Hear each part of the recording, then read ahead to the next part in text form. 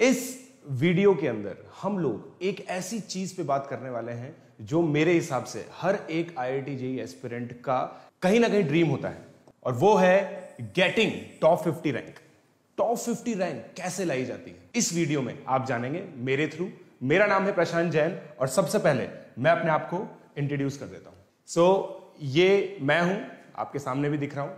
ठीक है? सबसे पहले मैं ये क्रेडिबिलिटी स्टेब्लिश कर देता हूँ कि क्यों मैं आपको ये चीज़ बता सकता हूँ कि टॉप 50 में रैंक कैसे लाई जा सकती, क्योंकि मैं खुद टॉप 50 रैंकर हूँ। आई आई टी जेईई 2008 के अंदर मैंने ऑल इंडिया रैंक 42 अर्जित की थी, जो कि काफ़ी अच्छा अचीवमेंट माना जाता है। उसके अलावा मैं आई एन गोल्ड मेडलिस्ट भी हूँ और एनटीएससी भी मैंने क्लियर किया हुआ है। तो काफ़ी सारे अचीवमेंट्स मेरे साथ जुड़े हुए हैं और मैं अपने अचीवमेंट्स के थ्रू बच्चों को मेंटर करता हूँ। अभी तक टेन थाउज़ेंड स्टूडेंट्स को मैं मेंटर कर चुका हूँ। और खास बात इसकी यह है कि मेरे बहुत सारे बच्चे बहुत अच्छी रैंक्स भी ला चुके हैं। बेस्ट रैंक मेरे through A I R six है। और उसके अलावा बहुत सारे कोचिंग सेंटर्स के अंदर मैं आ, अपनी सुविधाएँ दे चुका हूँ। और अब मैं आपके लिए अन अकेडमी प्लेटफॉर्म पर आ गया हूँ। और मेरा अन अकेडमी का जो कस्टम यूआरएल है वो आप स्क्रीन पर देख सकते हैं।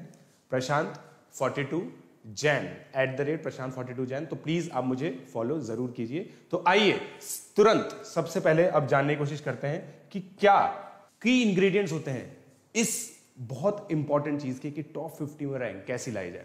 तो मैं बात करने वाला हूँ सबसे पहले फ़र्स्ट लर्निंग की। फ़र्स्ट लर्निंग के बारे में मैं बात करूँगा फ़र्स्ट लर्निंग का क्या मतलब होता है। नोट्स मेकिंग के बारे में मैं चर्चा करूँगा। स्टडी मटेरियल फिक्स कैसे किया जाता है, इसके बारे में मैं चर्चा करूँगा। फिर टेस्टिंग एंड एनालिसिस के बारे में मैं बात करूँगा। बफर टाइम्स कैसे यूज़ किया जाता है? Managing board and IIT board का एग्ज़ाम और आईआईटी कैसे मैनेज किया जाता है? क्योंकि आगे पीछे ही होते हैं ये। उसके अलावा ओलंपियाड्स को कैसे मैनेज किया जाता है? क्योंकि बहुत सारे बच्चे जो टॉप 50 में रैंक एक्सपेक्ट करते हैं, वो ओलंपियाड एग्जामिनेशन भी देते हैं। फिर managing JEE main revision JEE main के लिए रिवाइज कैसे किया जाता है? खासकर अब दो अटैम्प्ट हो गए हैं। तो जनवरी के अटैम्प्ट में कैसे रिवाइज किया जाएगा? अप्रैल के अटैम्प्ट में कैसे रिवाइज किया जाएगा? ये मैं आपके लिए डिस्कस करूँगा। फिर जेई एडवांस का जो रिवीजन है, उसको कैसे मैनेज किया जाएगा, इसके बारे में भी हम लोग चर्चा करेंगे। तो चलिए, सबसे पहले हम लोग स्टार्ट करते हैं फ़र्स्ट लर्निंग से। क्या होती है फ़र्स्ट लर्निंग देखिए फ़र्स्ट लर्निंग का मतलब होता है जो भी टॉपिक आप पहली बार पढ़ते हैं। जैसे मान लीजिए मेरे आने वाले लेक्चर्स के अंदर आप सीक्वेंस एंड सीरीज़ और क्वाड्रेटिक इक्वेशंस पढ़ने वाले हैं। ठीक है? अब सीक्वेंस एंड सीरीज़ को मान लीजिए आप पहली बार पढ़ रहे हैं तो वो आपकी फ़र्स्ट लर्निंग होगी फ़र्स्ट लर्निंग के लिए क्या इंपॉर्टेंट होता है मैं आपको बताता हूँ। सबसे पहले चीज़ इंपॉर्टेंट होती है कि आपकी एक सेपरेट कॉपी होनी चाहिए। क्या होनी चाहिए? सेपरेट कॉपी जहाँ पे आप खुद नोट्स बनाने वाले हो। पहली लर्निंग सबसे इंपॉर्टेंट लर्निंग होती है। अगर वो लर्निंग आपकी बहुत अच्छी हो जाती है तो मैं आपको ये चीज़ गारंटी दे सकता हूँ कि आपके जो आगे के एफर्ट्स होंगे, वो बहुत कम हो जाएँगे। Right right? तो मेरे भी जो आने वाले लेक्चर्स हैं, उसके अंदर हमेशा कॉपी पेन लेके बैठना है। और एक एक चीज़ नोट डाउन करनी है, क्योंकि बहुत सारी छोटी छोटी चीज़ें ऐसी होती है जो टीचर्स बताते हैं हमें, जो बहुत सारे बच्चे नेग्लेक्ट कर जाते हैं। क्योंकि आप खुद सोचिए कि एक क्लास में, मान लीजिए सौ बच्चे बैठे और एक बहुत ही अच्छा आईआईटी का टीचर उनको पढ़ा रहा है, उन सौ बच्चों में से सभी की रैंक अलग अलग क्यों आती है? क्योंकि हर एक बच्चे का फ़र्स्ट लर्निंग एप्टीट्यूड क्या बोला मैंने? फ़र्स्ट लर्निंग एप्टीट्यूड डिफरेंट होता है फ़र्स्ट लर्निंग एप्टीट्यूड बहुत इंपॉर्टेंट टर्म है ये एफ़ फ़र्स्ट लर्निंग एप्टीट्यूड बहुत अलग होता है। कुछ बच्चों को होता है कि पहली बार में सब कुछ समझ में आ जाता है। जिनको पहली बार में सब कुछ समझ में आ जाता है और उन्होंने बहुत अच्छे से नोट्स बना लिए तो मैं आपको बता रहा हूँ कि उनके पास काफ़ी ज़्यादा टाइम होगा क्वेश्चन प्रैक्टिस करने का और काफ़ी ज़्यादा टाइम होगा रिविजन करने का राइट तो क्लास में बिल्कुल अटेंटिव होकर सुनना होता है इस चीज़ के लिए। ये मेरा पहला ज्ञान है आपको। फ़र्स्ट लर्निंग सबसे इंपॉर्टेंट है। आप ये कभी मत सोचिए कि मैं बाद में जाके पढ़ लूँगा इस क्लास में अगर मेरे को कुछ समझ में नहीं भी आ रहा है तो मैं दूसरे चांस ले लूँगा। ऐसा कभी मत सोचिए फ़र्स्ट लर्निंग हमेशा फ़र्स्ट लर्निंग होती है। ठीक है? बहुत क्लियरली नोट्स बनाइए, सारी डेफिनेशन को बहुत प्रॉपरली लिखिए, जो भी इंपॉर्टेंट पॉइंट्स हैं, उनको नोट बना के इस तरह से बॉक्स में भर दीजिए। तो क्या होगा, जब आप कॉपी पढ़ रहे होंगे ना अपनी फ़र्स्ट लर्निंग वाली तो आपको बहुत सारे बॉक्सेस दिखेंगे। और ये बॉक्सेस क्या हमारी? आईज को अट्रैक्ट करते हैं। ये इंपॉर्टेंट पॉइंट है। तो इस चीज़ का हमेशा ध्यान रखिए। जैसे मान लीजिए आपने x is equal to minus b plus minus root d by two a लिखा।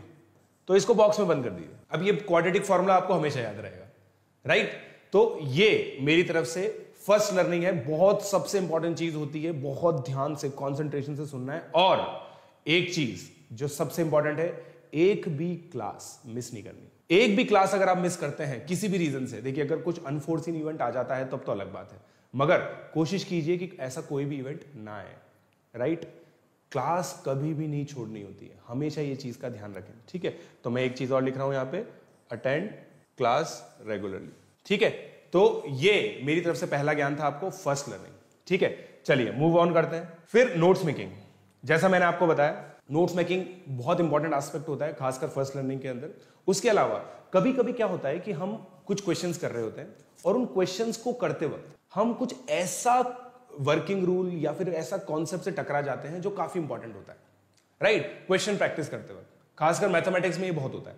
मैथमेटिक्स में कुछ शॉर्ट ट्रिक्स होती हैं, जो प्रीवियस ईयर जेई के क्वेश्चंस करने से होती हैं, कभी कोई बहुत स्टैंडर्ड बुक से करने को होती है तो वहाँ का जो आस्पेक्ट है, आप उसको अपने अपने नोट्स का हिस्सा ज़रूर बनाइए। ठीक है? अपने नोट्स का हिस्सा ज़रूर बनाइए। So write all important topics and concept in your notes अपनी फ़र्स्ट लर्निंग में तो कर ही रहे हैं आप। ठीक है, मगर अगर कुछ प्रैक्टिस करते वक्त भी आप, अगर कोई चीज़ आप टकरा रहे हैं तो उस चीज़ को भी आप लिखिए और उसको अगेन बॉक्स में बंद कर दीजिए, क्योंकि बॉक्स में आप बंद करेंगे तब आपको याद होगा। ठीक है, उसके अलावा मैंने जो खुद ने किया था, अपने मैं क्योंकि केमिस्ट्री ओलंपियाड में भी गया हूँ शॉर्ट नोट्स ये एक बहुत इंपॉर्टेंट एस्पेक्ट अब देखो, मैं पता है शॉर्ट नोट्स कैसे बनाता था? हर एक बंदे की लर्निंग एप्टीट्यूड अलग होती है। ऐसा हो सकता है कि मुझे परमिटेशन कॉम्बिनेशन एक बार में समझ में आ जाए। किसी और बच्चे को ना आए। किसी को कोनिक सेक्शन बहुत अच्छे से समझ में आ जाए, मुझे ना आए। तो मैं क्या करता था, जो चीज़ मुझे ढंग से समझ में नहीं आती थी, उनको मैं एक शॉर्ट नोट्स में रख देता था कि यार ये चीज़ मैं हमेशा भूलता हूँ। कि भाई, एक पॉइंट से कॉर्ड ऑफ़ कॉन्टेक्ट कैसे लिखी जाती है, ये मैं हमेशा भूलता हूँ। तो मैं इसको शॉर्ट नोट्स में रख देता हूँ। जब भी मुझे एग्ज़ाम देना होगा तो मैं इस चीज़ को, इस शॉर्ट नोट्स को ज़रूर रिवाइज करके जाऊँगा। क्योंकि बेटा, क्या होता है कि जैसे मान लीजिए मैथ्स में टोटल मिला के पंद्रह सौ कॉन्सेप्ट है तो पंद्रह सौ के पंद्रह सौ कॉन्सेप्ट आपके वीक नहीं हो सकते राइट अगर पंद्रह सौ के पंद्रह सौ कॉन्सेप्ट वीक है तो वैसे भी आई आई जेई में आपका कोई भी चांस नहीं है राइट तो कुछ ना कुछ कॉन्सेप्ट आपके अच्छे होंगे, कुछ कॉन्सेप्ट जो आपके बिल्कुल ही खराब होते हैं, उनको आप शॉर्ट नोट्स में लिखिए, ताकि बिल्कुल एंड में जाते वक्त, जब आप मान लीजिए आईआईटी देने में केवल छह सात दिन रहेगा तो उन शॉर्ट नोट्स को उठा के फटाफट से आपने रिवाइज कर दिया ताकि अगर इन कॉन्सेप्ट से इजी कोई क्वेश्चन आ गया तो आप कर पाओगे। क्योंकि एक ये बहुत बड़ा क्राइम होता है बेटा, कि अगर इजी क्वेश्चन आपने गलत कर दिया, क्योंकि वो कॉन्सेप्ट आपने छोड़ रखा था तो बहुत गड़बड़ हो जाती है। तो जो भी टॉप फिफ्टी रैंकर्स होते हैं, जैसे मैं भी हूँ तो अगर मेरे साथ एक कॉन्सेप्ट था homogenisation of straight line somehow मैं हमेशा भूलता था तो मैंने उसको शॉर्ट नोट्स में रख रखा था। और जब भी एग्ज़ाम होता था तो मैं एंड में उसको रिवाइज ज़रूर करके जाता था, ताकि अगर उससे कोई सिंपल क्वेश्चन आ जाए तो वो तो मेरे से हो ही जाए। राइट और मैं आपको बता रहा हूँ, कम से कम 15 से 20 मार्क्स के मार्क्स मेरे आए 2008 जेई के अंदर उन क्वेश्चंस में से, जिनके कॉन्सेप्ट मुझे बहुत ज़्यादा क्लियर नहीं थे, मगर उसमें से सिंपल क्वेश्चन आए थे। राइट तो I was on the beneficiary side short notes आप ज़रूर बनाए। और शॉर्ट नोट्स आप किसी और के ना लें। किसी और के नोट्स किसी और के ही होते हैं, आपके नोट्स नहीं होते हैं। सबको इंडिविजुअली खुद के नोट्स बनाने चाहिए, ऐसा मेरा मानना है। ठीक है?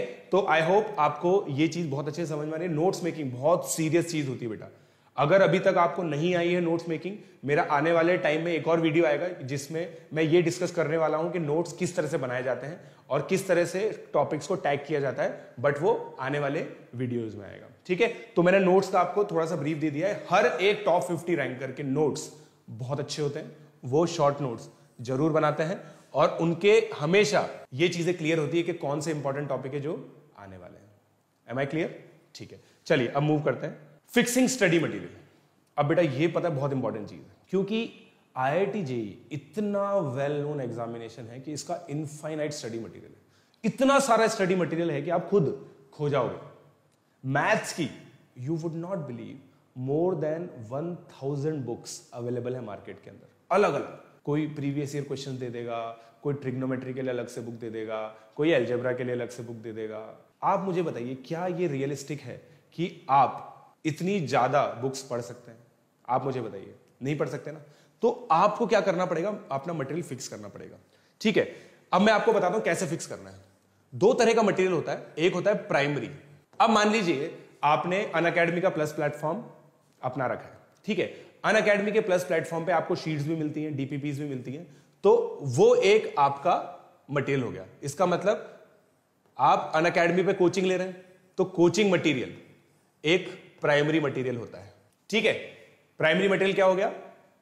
कोचिंग दूसरा प्राइमरी मटेरियल होता है एनसीईआरटी एंड एग्जाम्पलर अब पता है ये सेकंड वाला बहुत इंपॉर्टेंट है, जो बच्चे पता है हमेशा नेग्लेक्ट करते हैं। बच्चों को लगता है सर एनसीईआरटी तो बहुत सिंपल होती है।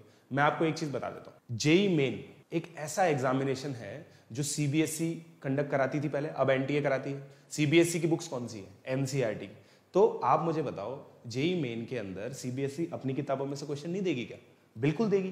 तो एनसीआरटी करना तो वैसे भी कंपलसरी है, क्योंकि जेई मेन के अंदर भी आता है। उसके अलावा ट्वेल्थ बोर्ड तो दोगे। ट्वेल्थ बोर्ड में अच्छी परसेंटेज चाहिए, नहीं चाहिए। आगे जाके कैट के अंदर जब हम लोग का सिलेक्शन हो जाता है आई एम अहमदाबाद के अंदर जा रहे होते हैं तो वहाँ पे भी पता है आपको ट्वेल्थ बोर्ड का वेटेज होता है। ठीक है? तो एनसीआरटी पढ़ना तो हमारे लिए बेटा क्या है? कंपलसरी है। ये ज्ञान आपको हमेशा ध्यान रखना है। ठीक है?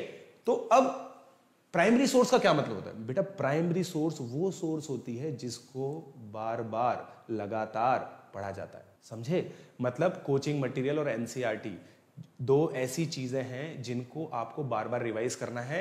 इनके लिए सेपरेट कॉपी बनानी है सॉल्व करने के लिए। सेपरेट कॉपी फॉर सॉल्विंग बेटा, बहुत डिटेल में मैं आपको बताने की कोशिश कर रहा हूँ यहाँ पे, जो मैंने खुद ने किया हुआ है। एनसीआरटी का अलग से सॉल्यूशन मेंटेन उसी के अंदर एग्जाम्पलर के अलग से सॉल्यूशन मेंटेन मैथ्स की जो कोचिंग की शीट होती है, उसके लिए अलग से कॉपी बनाई है। एक एक क्वेश्चन उसके अंदर सॉल्व किया है ताकि अगर मान लो मैं बाद में रिवाइज करता हूँ और उसमें मुझे क्वेश्चन नंबर सिक्स में दिक्कत आती है तो क्वेश्चन नंबर सिक्स मेरे पास अवेलेबल होगा, उसका सॉल्यूशन मेरा खुद का बनाया हुआ।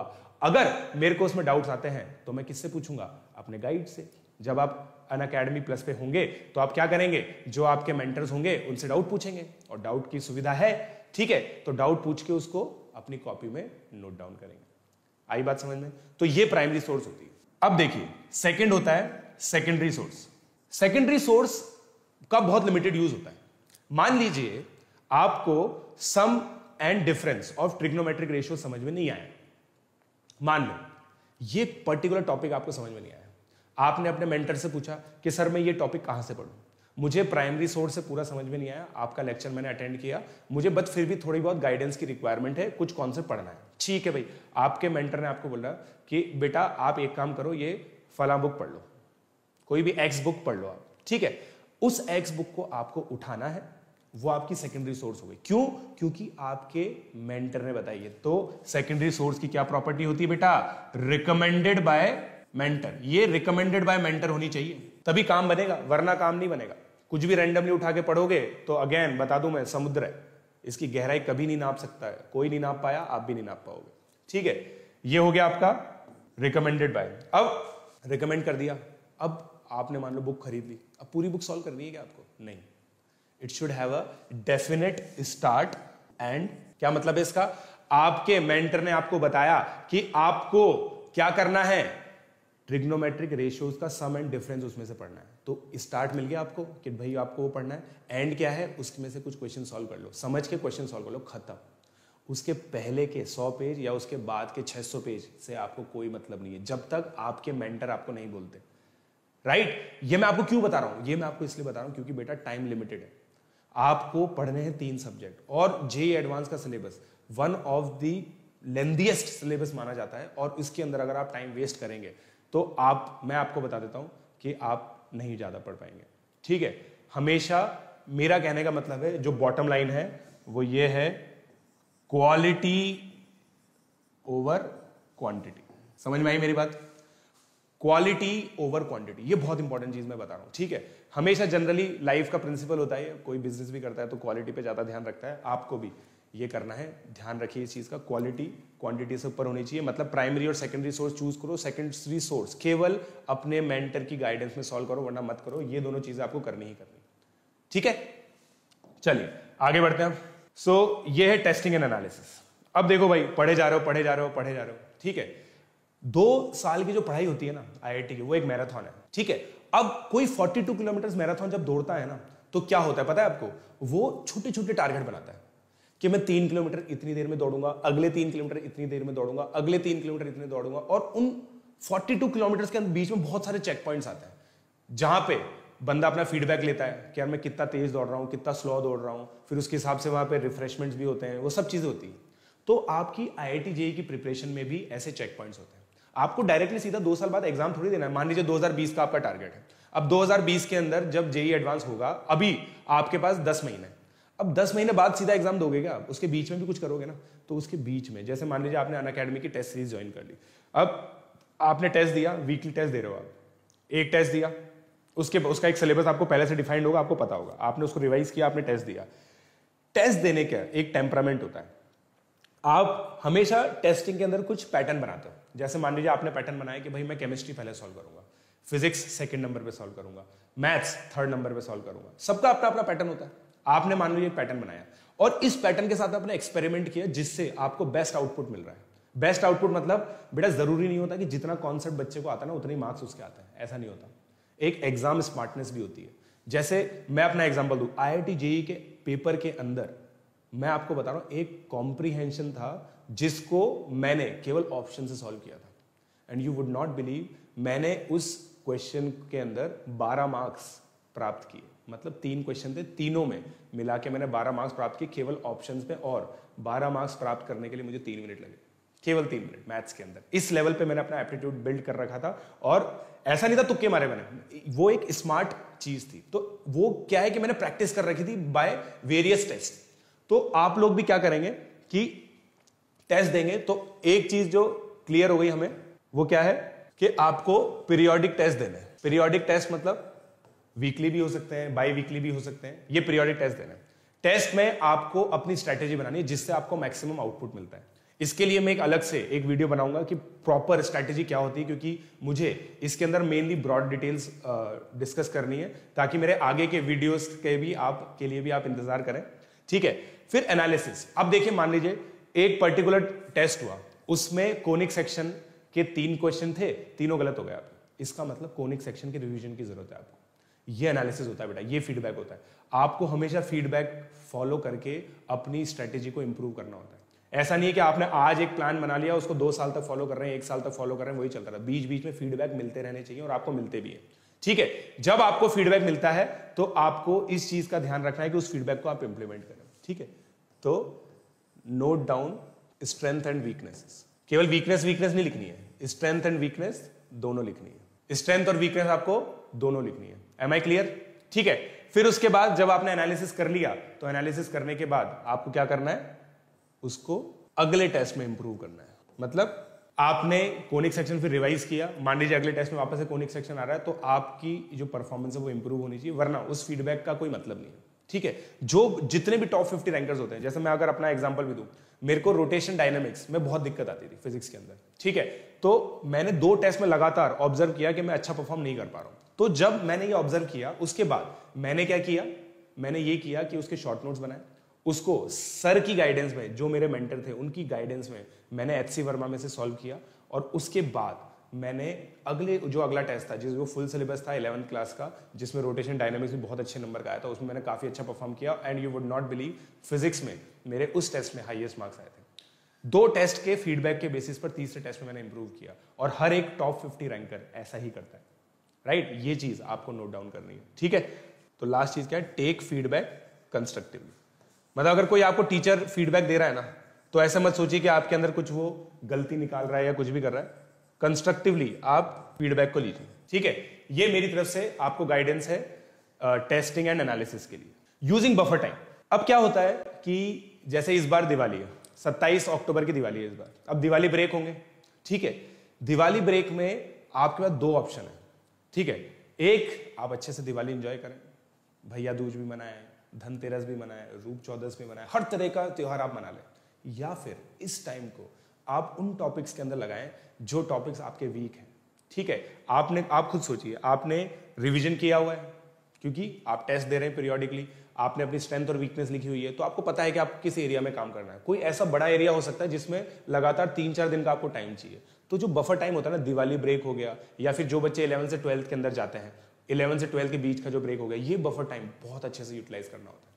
आपके पास, मैं आपको बता दूँ, अगर विदाउट प्लान आप बफर टाइम में घुस जाओगे तो आप कुछ भी उसको यूज़ नहीं कर पाओगे। गो विद प्लान जैसे मैं आपको बताता हूँ, जब मेरा ट्वेल्थ क्लास में, मैं ट्वेल्थ क्लास के अंदर था, जो मेरा बफर टाइम था, उसके अंदर पता है मैंने क्या किया था? उसके अंदर मैंने अपनी इलेवेंथ क्लास की इनऑर्गेनिक केमिस्ट्री पूरी रिवाइज की क्योंकि मेरे को ऐसा लग रहा था कि मैं भूल रहा हूँ राइट चलिए तो ये आपको बफर टाइम यूज़ करना है। मैं लिख देता हूँ बफर टाइम किस तरह के होते हैं। एक तो दिवाली ब्रेक ठीक है? गवर्नमेंट हॉलीडेज इंडिपेंडेंस डे वगैरह हो गया। अब देखिए, मैं ये नहीं कह रहा कि आप पता है उन दिन भी पढ़ते रहिए। थोड़ा सा इंजॉयमेंट करना ज़रूरी है। मगर प्लीज़ प्लान आउट कीजिए। अगर आप प्लान आउट करेंगे ना तो आपकी वीकनेसेस बचेंगी नहीं। ठीक है? उसके अलावा इलेवेंथ टू ट्वेल्थ फिर JEE main one and boards boards and JEE advance ये कुछ ब्रॉड मैंने आपके लिए लिखे हैं कि ये कुछ ऐसे बफर्स हैं जो आप यूटिलाइज कर सकते हो। ठीक है? तो प्लीज़ इनको बहुत अच्छे से यूटिलाइज करो। इनके अंदर प्लान से जाओ। इसमें कैसे कुछ चीज़ों का प्लान तो मैं आपके लिए अभी नेक्स्ट स्लाइड में डिस्कस करने वाला हूँ, मगर आप कोशिश करो कि आपके दिमाग में कुछ ना कुछ इसके लिए प्लान ज़रूर।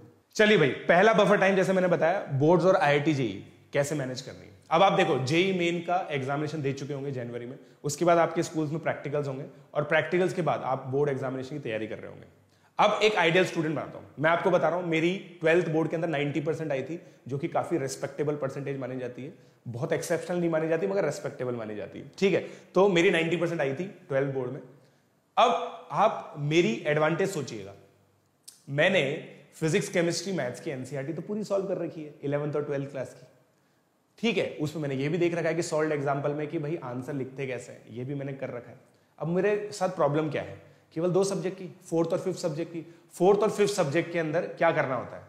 उसको पढ़ना होता है। फोर्थ सब्जेक्ट तो इंग्लिश ही होता है। इंग्लिश आपने टेंथ तक कंटिन्यू कर रखी है तो ग्रामर पार्ट तो आपका हो ही जाएगा। उसके अलावा लिटरेचर के लिए बहुत एम्पल रिसोर्सेज अवेलेबल है, या फिर आप किसी टीचर की हेल्प ले सकते हैं, जो आपको सॉल्व करा दे। फिफ्थ सब्जेक्ट इकोनॉमिक्स हुआ कंप्यूटर हुआ फ़िज़िकल एजुकेशन हुआ, जो भी आपका फिफ्थ सब्जेक्ट है, वो भी आपको मैनेज करना है। फ़िज़िकल एजुकेशन एक जनरली ऐसा सब्जेक्ट है जिसका सिलेबस बहुत कम होता है। आप लोगों ने, वो अभी भी फिफ्थ सब्जेक्ट का आप ध्यान रख ही रहे होंगे तो उसकी स्ट्रेटेजी भी आपको उसी हिसाब से बनानी है। और मैं आपको बता दूँ फिफ्थ सब्जेक्ट कोई बहुत बड़ी चीज़ नहीं होती बेटा। अनलेस अगर आपने, मान लीजिए फिजिक्स केमिस्ट्री मैथ्स बायो और ले रखी है, तब तो थोड़ा सा बड़ा हो जाएगा। मगर कोशिश कीजिए कि अगर फिफ्थ सब्जेक्ट आपका इतना ज़्यादा सिलेबस वाला नहीं है तो उसको जल्दी जल्दी करने की कोशिश करें। ठीक है, अब आपने ये सब कर लिया। अब as a top fifty ranker मैं बता रहा हूँ। मैं जब फिजिक्स के क्वेश्चन सॉल्व करता हूँ ना फिजिक्स का मेरा पेपर है, मैं उसके लिए प्रिपेयर कर रहा हूँ। तो मैं साथ के साथ थोड़ा बहुत जेई एडवांस के क्वेश्चंस भी करता रहता हूँ। समझे मेरी बात? मतलब मैंने जेई एडवांस की किताब ऐसे नहीं कि एक बक्से में बंद करके रख दी है। ऐसा नहीं करता मैं। मैं क्या करता हूँ? मैं उसके साथ साथ जेई एडवांस की क्वेश्चंस भी करता हूँ। मान लीजिए इलेक्ट्रिसिटी में पढ़ रहा हूँ इलेक्ट्रोस्टैटिक्स तो उसके साथ मैं क्या करूँगा? ये भी कर लूँगा। कैलकुलस पढ़ रहा हूँ मैथ्स का पेपर है, मेरा बोर्ड का पेपर आने वाला तो कैलकुलस के जेई एडवांस के क्वेश्चन भी कर लिए। तो जो जो मेरे ट्वेल्थ बोर्ड के सिलेबस में, उन सबका मैं रिविजन करता रहूँगा। राइट इलेवंथ का रिविजन मेरा अलग से हो ही रहा था, पहले से ही हो रखा था। ठीक है? तो ये तो हो गया। फोर्थ और फिफ्थ सब्जेक्ट में जो प्रिपरेशन लीव होती है ना बेटा, बहुत होती है सीबीएसई e के अंदर वो प्रिपरेशन लीव के अंदर आप, आपने पहले से थोड़ा बहुत पढ़ी रखा है, उसमें रिवाइज करिए और तीन चार दिन का लैग आता है। मतलब उस समय आप आई आई की प्रिपरेशन नहीं कर पाएँगे तो उस समय आप छोड़ सकते हैं, कोई बड़ी बात नहीं। मगर जैसे ही आपका बोर्ड एग्ज़ाम खत्म हुआ, आपको फटाफट से जेई मेन टू के लिए तैयार होना होता है। और उस समय आपके पास एक 14 डेज़ की स्ट्रैटेजी दिमाग में होनी चाहिए, क्योंकि जेई मेन और बोर्ड्स, जेई मेन टू और बोर्ड्स के बीच में 14 डेज़ का फ़र्क होता है। दो हफ़्ते में आपको एक ऐसा रिविजन प्लान बनाना है जिससे आप बिल्कुल रंग में आ जाए। और उसके बीच में आपको कम से कम चार या पाँच फुल सिलेबस पेपर अटेम्प्ट करने होंगे। आप अगर अन अकेडमी की टेस्ट सीरीज़ लेते हैं तो आपको ये सब चीज़ें सुविधाएँ मिलेंगी। ठीक है? फिर उसके बाद जेई मेन और आईआईटी के बीच में आता है, वो भी हम लोग डिस्कस कर लेते हैं। मैनेजिंग ओलंपियाड एंड जेई अच्छा ये मैं एक इंपॉर्टेंट चीज़ बता देता हूँ। जितने भी बच्चे टॉप फिफ्टी के एस्पिरेंट होते हैं ना बेटा, वो उनके साथ एक कॉमन चीज़ होती है। वो सब physics olympiad chemistry olympiad astro olympiad maths olympiad ये देना चाहते हैं। इलेवन क्लास के अंदर केवीपीवाई क्लियर होते हैं बहुत सारे बच्चे। तो ट्वेल्थ क्लास में जो बच्चे हैं, जिनका 2020 में ये टारगेट है कि वो टॉप 50 में रैंक लेके आए तो मैं आपको ये बता देता हूँ कि मेरे हिसाब से ओलंपियाड्स के लिए स्पेशल कोई प्रिपरेशन आपको नहीं करनी चाहिए। ये मैं आपको गाइडेंस दे रहा हूँ, क्योंकि मैंने भी केमिस्ट्री ओलंपियाड के लिए कोई स्पेशल प्रिपरेशन नहीं की थी। केमिस्ट्री और फिजिक्स आप ऑप्ट कर सकते हैं, साथ के साथ दे सकते हैं, वो इसलिए दे सकते हैं क्योंकि उसका जो सिलेबस है वो इनलाइन होता है। जेई एडवांस का जो सिलेबस है और जो फिजिक्स और केमिस्ट्री का सिलेबस है वो बहुत ईजी होता है। और पहला स्टेज तो बिल्कुल ईजिली हो जाता है। सेकेंड स्टेज थोड़ा सा डिफ़िकल्ट होता है, मगर उसके लिए भी आपको स्पेशल प्रिपरेशन नहीं करनी। मैं आपको ये गाइडेंस इस कॉन्टेक्स्ट में दे रहा हूँ कि टॉप फिफ्टी में आपको रैंक लानी। कुछ बच्चे एक्सेप्शनल होते हैं, वो दोनों मैनेज कर लेते हैं, मगर मैं आपको बता देता हूँ, मैंने कोई भी स्पेशल तैयारी नहीं की थी केमिस्ट्री ओलंपियाड के लिए। सिलेबस के साथ साथ जो चीज़ें वो पढ़ के गया था, उससे हो जाता है अगर आपके कॉन्सेप्ट क्लियर है तो। मगर स्पेशल कुछ भी अलग ना करें। ठीक है?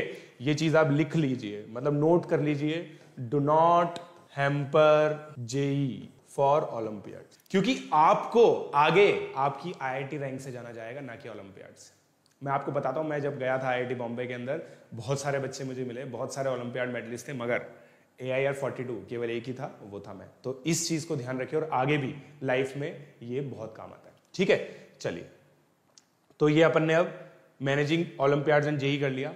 अब जेई मेन रिवीजन की बात कर लेते हैं। जो टॉप फिफ्टी रैंकर्स होते हैं, उनकी सबसे पता यूएसपी क्या होती है? रिवीजन रिवीजन का कैसा सॉलिड मैकेनिज्म होता है उनके पास कि मज़ा आ जाता है। अब आप सोचिए, मैंने अपने सारे नोट्स लिख रखे हैं। मेरी सारी स्ट्रेंथ वीकनेस मेरे पास है। मेरे सारे शॉर्ट नोट्स मेरे पास है। अब मैं चौदह दिन की स्ट्रैटेजी भी बना सकता हूँ, सात दिन की स्ट्रैटेजी भी बना सकता हूँ, एक महीने की स्ट्रैटेजी भी बना सकता हूँ। नवंबर तक आपको कोशिश करनी है कि आपका जेई मेन का सिलेबस कंप्लीट हो जाए, दिसंबर को आपको पूरा यूज़ करना है किसके अंदर? जेई मेन और एडवांस की, कि जेई मेन का रिवीजन में। सबसे पहले तो जेई मेन ही आएगा तो जेई मेन के रिवीजन में आपको यूज़ करना है। आपने जेई मेन का रिवीजन कर लिया, ठीक है? दिसंबर में पूरी स्ट्रैटेजी बना ली, एक महीना है, और आपका मान लीजिए नौ जनवरी को एग्ज़ाम है, ठीक है? उसके अंदर आपको कम से कम पाँच से छह फुल सिलेबस पेपर देने हैं ऑनलाइन मोड में। सीबीटी कंप्यूटर बेस्ड टेस्ट आपको कम से कम पाँच छह देने ताकि आपको वहाँ पे जाके कोई सरप्राइज़ ना मिले राइट तो ये चीज़ आपको ध्यान रखनी है, ठीक है? रिवीजन कैसे होगा इसकी ब्रॉड मैं अलग से एक एक वीडियो बनाऊँगा, मगर मुद्दे की बात क्या है? Special plan should be there और इस चीज़ के अंदर ये चीज़ ध्यान रखो मेंटर्स की गाइडेंस होनी ज़रूरी है। ऐसा आप कोई सर्वज्ञाता नहीं हो अभी अभी आप बच्चे हो। आपको मेंटर्स की रिक्वायरमेंट होगी तो रिवीजन प्लान जो भी बनाओ मेंटर्स की गाइडेंस में बनाओ क्लियर अन अकेडमी प्लस प्लेटफॉर्म पे जो भी आपके मेंटर्स हैं, उनसे आप इसको डिस्कस करो। ठीक है? अब लास्ट आता है मैनेजिंग जेई एडवांस रिवीजन ठीक है? अब आप आ गए हैं अप्रैल मंथ के अंदर। ठीक है? अप्रैल मंथ में जेई मेन टू दे दिया है आपने। आपका सब, बहुत अच्छा स्कोर है। जो भी टॉप 50 में रैंकर्स होते हैं, उनका जनरली 300 स्कोर तो होता ही है। जिनकी टॉप 50 में प्रोबेबल रैंक आनी होती है। तो 300 स्कोर आ गया आपका। आप बिल्कुल खुश हो हैप्पी हो। ठीक है? अब आपके पास बचे हैं टोटल मिला के 35 डेज़ 35 डेज़ में आपको जेई मेन और एडवांस के बीच का टाइम यूटिलाइज करना है। अब देखो जेई मेन में बेटा कुछ चीज़ अलग होती है। जैसे मैथ्स के अंदर अगर मैं बात करूँ मैथमेटिकल रीजनिंग अलग चैप्टर होता है। उसके अलावा स्टैटिस्टिक्स अलग चैप्टर होता है। कुछ आस्पेक्ट्स ऐसे होते हैं जो अलग होते हैं। तो वो चीज़ अब खत्म हो गई है। जेई एडवांस में भी कुछ अलग होता है। Right right? तो जेई एडवांस का जो सिलेबस में डिफरेंस है पहले तो उसको रिवाइज करो। अगेन जेई एडवांस के बहुत सारे मॉक टेस्ट देने ज़रूरी है। छह कम से कम आप मॉक टेस्ट दो कंप्यूटर बेस्ड टेस्ट और उसके अंदर आपको ये ध्यान रखना है कि नौ से बारह, दो से पाँच। इसमें इसमें जो टेस्टिंग होती है आईआईटी की जेई की जो टेस्टिंग है ना, पता है, वो भी मैराथन है किसी बच्चे का फ़र्स्ट टेस्ट अच्छा हो जाता है, किसी बच्चे का सेकंड टेस्ट अच्छा हो जाता है। ठीक है? तो इसलिए मैं आपको ये चीज़ कह रहा हूँ कि कोशिश आपको करनी है कि एक अच्छा पैटर्न आप बना सकें अपने लिए। ताकि पहला और दूसरा दोनों पेपर आपका अच्छा जाए। इसकी डिटेल स्ट्रेटेजी मैं आपको बताऊँगा। मगर मैं ये कहना चाहता हूँ कि जो टॉप 50 रैंकर होता है, उसके पास एक बहुत अच्छी स्ट्रैटेजी दिमाग में होती है, जेई मेन और एडवांस के बीच में, और इस स्ट्रैटेजी को वेरीफाई वो करवाते हैं किन से अपने मेंटर्स के ठीक है? चलिए। So this is about it ये कुछ टिप्स एंड ट्रिक्स हैं जो टॉप 50 में रैंक आपको लानी पड़ेगी। तो बेसिकली ये टॉप 50 में रैंक ना, आखिरी एक महीने, दो महीने में नहीं आती। इसके लिए कॉन्सेंट्रेटेड एफर्ट लगता है। मैंने आपको जो चीज़ बताई स्टार्टिंग से लेकर फ़र्स्ट लर्निंग से लेकर एंडिंग तक की सारी चीज़ें बताइए फ़र्स्ट लर्निंग आपकी सॉलिड होनी चाहिए क्लास में आपका बिहेवियर अच्छा होना चाहिए नोट्स आपके अच्छे होने चाहिए टेस्टिंग आपकी अच्छी होनी चाहिए। उन टेस्ट के बेसिस पे आपको फीडबैक लेके एनालिसिस करना चाहिए, आपकी स्ट्रेंथ एंड वीकनेस प्रॉपर होनी चाहिए। शॉर्ट नोट्स आपके पास होने चाहिए। उसके अलावा जो बफर टाइम्स है, उनको आपको अच्छे से यूटिलाइज करना है। बोर्ड्स के टाइम पे जेई को नहीं छोड़ना है जेई के टाइम पे बोर्ड्स को नहीं छोड़ना है। जेई मेन होने के बाद आपको बोर्ड में लगना है वन के बाद, जेई, उसके बाद बोर्ड के बाद चौदह दिन का जो बफर टाइम आता है, उसमें जेई मेन टू का रिवीजन करना है। फिर जेई मेन टू से जेई एडवांस के बीच में जो थर्टी फाइव डेज़ आता है, उसके अंदर एक प्रॉपर स्ट्रैटेजी होनी चाहिए। और ये सबके अंदर आपके पास एक अच्छा सा मेंटर होना चाहिए। और वो जो मेंटर होगा, वो आपकी नैया पार कराएगा। तो ये मेरी तरफ़ से टिप्स एंड ट्रिक्स है। So now I would like to conclude this session so I hope आपको ये मेरा जो सेशन है, वो काफ़ी इनोवेटिव लगा होगा और काफ़ी इंस्पिरेशन लगा होगा। ऐसे मैं बहुत सारे सेशन करने वाला हूँ, मगर उसके लिए आपको क्या करना है? आपको सब्सक्राइब करना है और जब आप सब्सक्राइब करेंगे तो मेरे हर एक वीडियो का नोटिफिकेशन आपको मिलेगा। आपको अगर मुझसे कोई भी डाउट पूछना है तो आप कमेंट बॉक्स पर बेफिक्र लिखिए। एट प्रशांत जैन सर आप मुझे ये चीज़ पूछनी है, आप बेफिक्र लिखिए, ठीक है? और ये मेरा अन अकेडमी पे कस्टम यू आर है। प्लीज़ मुझे सब्सक्राइब ज़रूर कीजिए वहाँ पे at Prashant forty two Jain, ठीक है? तो with your love and with my efforts और आपकी सिंसेरिटी से हम लोग डेफिनेटली कुछ ना कुछ बहुत अच्छा करेंगे। Thank you